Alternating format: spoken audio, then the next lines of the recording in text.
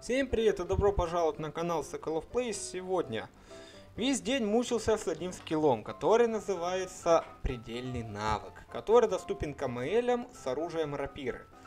Рапиры как таковые исчезают после 85 уровня, то есть после ранга R, включительно R, R95 R99 рапир нету.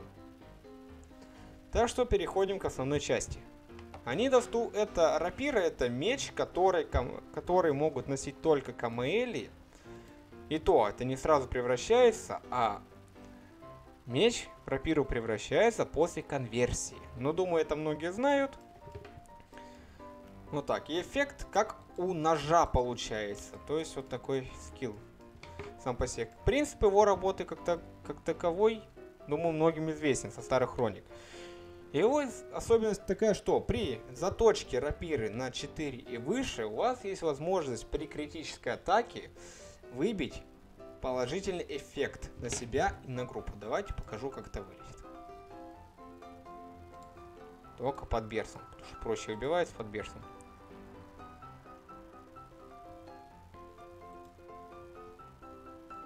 Вот он.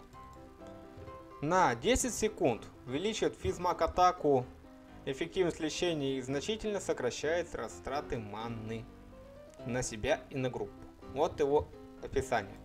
Но оно непонятное. По многим сайтам я искал и не нашел точной информации. Поэтому решил потратить на это время. И что мне удалось выяснить? Буду говорить сразу коротко, чтобы было все понятно.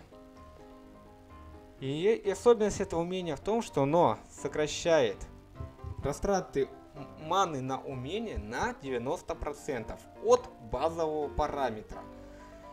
Э, в сокращении от э, затрат маны, там прочие эффекты на скиллы не работает с ним. То есть он конкретно фиксированно режет до определенного нужного параметра. То есть, для примера, вот, Симфония Соблазна. Сколько я эффектов на себя не накладывал, которые сокращают время, точнее не время, а растраты маны на умение, у меня цифра получалась одна и та же, 176. И она составляет 90% от базового параметра растрат в целом. То есть 1767 делим на 10, ой, на 90 получается, и получаем вот такую... На 90% делим, раз, и получаем 176. Вот так вот. Правильнее будет говоря. Также действует и с хилом. ПМ усиление.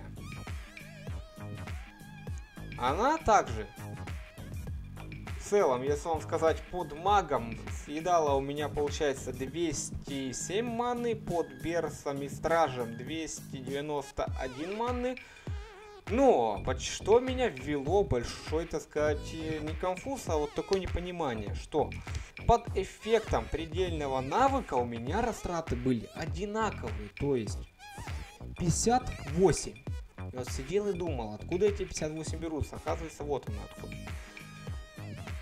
То есть 90% срезается от всех умений. Так что очень даже выгодно.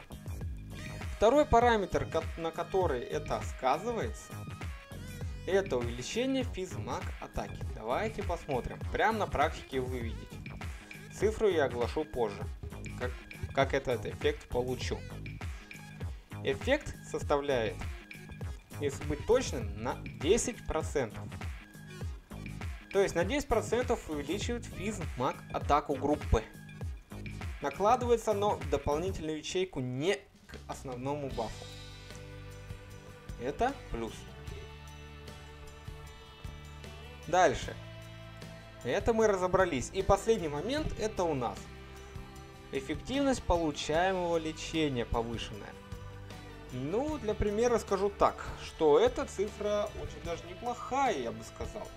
Смотрите, а, без него у меня получилась цифра 10440, а под этим эффектом без 7 15 тысяч, то есть 14 993. То есть, считая по математике, мы получаем 43,6%.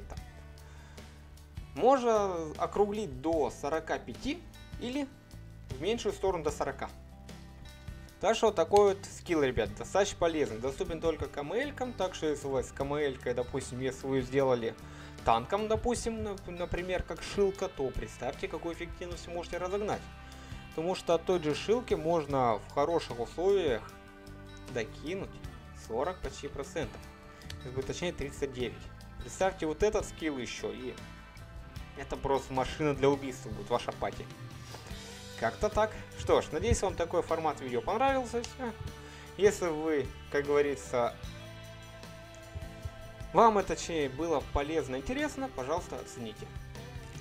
Подписывайтесь, конечно, на канал, ставьте лайки, комментируйте.